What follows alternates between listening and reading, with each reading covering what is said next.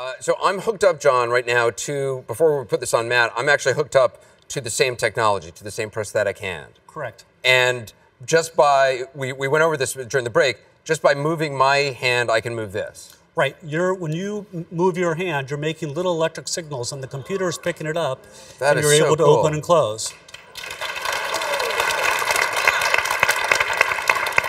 That's amazing.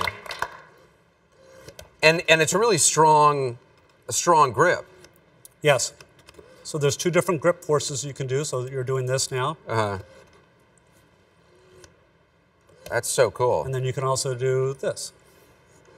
Ow! Wow. it's got quite a grip there.